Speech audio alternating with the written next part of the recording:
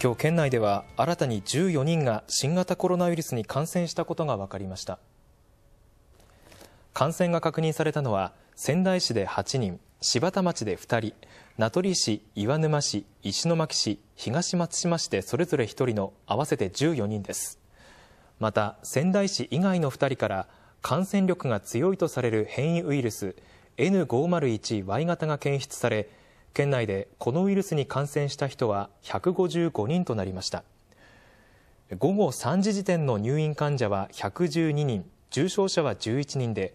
受け入れ可能病床の使用率は県全体で51.9%仙台両県の入院患者は80人で病床使用率は67.8%です。